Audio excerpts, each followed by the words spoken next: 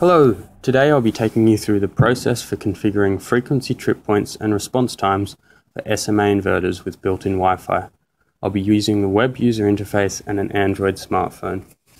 You should already be logged into the inverter using the installer password set during commissioning. Within the web UI, navigate to User Settings and select SMA GridGuard Login. Here, enter your personal GridGuard code. Once logged in, using the top right menu, navigate to Device Parameters. Select Editing Parameters at the top and scroll down to Grid Monitoring. Select Grid Monitoring again, Country Standard, and scroll down to Frequency Monitoring. Here we can configure the frequency trip points and response times.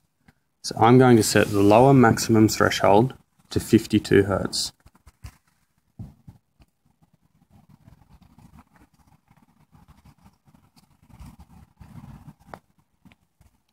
The lower maximum threshold tripping time to 2000 milliseconds.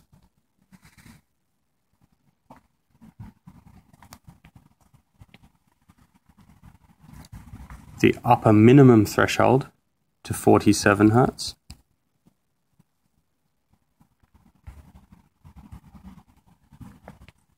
And the upper minimum threshold tripping time to 2000 milliseconds again.